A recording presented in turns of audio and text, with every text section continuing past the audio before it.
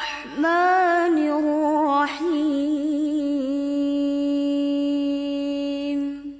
السلام علیکم everyone welcome to my channel میرے خواب اور اس کی اسلامک تعبیر. آج ایک نئی ویڈیو لے کر حاضر ہوئی ہوں، جس میں آپ کو بتایا جائے گا کہ خواب میں بیماری کا دیکھنا کیسا ہے۔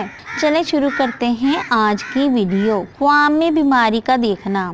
بقول حضرت ابن سیرین رحمت اللہ علیہ السلام نے فرمایا، اگر کوئی انسان خواب میں دیکھے کہ وہ بیمار ہے، تو دلیل ہے کہ اس کے دین میں فساد ہے اور وہ لوگوں سے نفاق کی باتیں کرتا ہے۔ بعض اہل تعبیر کے مطابق، وہ اسی سال مرے گا اور اگر دیکھے بیماری سے تندرست ہوا ہے اور وہ گھر نہیں گیا اور وہ کسی سے بات بھی نہیں کرتا، تو دلیل ہے کہ اس کی بیماری بیماری لمبی ہو جائے گی اور وہ اسی بیماری میں مرے گا۔ اور اگر صاحب خواب دیکھے کہ وہ تندرست ہو گیا ہے اور وہ لوگوں سے باتیں بھی کرتا ہے، تو دلیل ہے کہ جلد ہی اس کی بیماری سے اس کو چھٹکارا ملے گا اور وہ صحت اور تندرستی پائے گا۔ حضرت ابراہیم کرمانی رحمت اللہ علیہ السلام نے فرمایا، اگر کوئی انسان خواب میں دیکھے کہ وہ بیماری کے باعث برہنہ یعنی ننگا ہوا ہے، تو دلیل ہے کہ وہ جلد مرے گا۔ امید کرتی ہوں اللہ تبارک تعالیٰ آپ کا خواب آپ کے حق میں بہتر کرے گا اور امید کرتی ہوں کہ آپ کو یہ ویڈیو اچھی لگی ہوگی تو اس ویڈیو کو لائک، شیئر اینڈ سبسکرائب کریں۔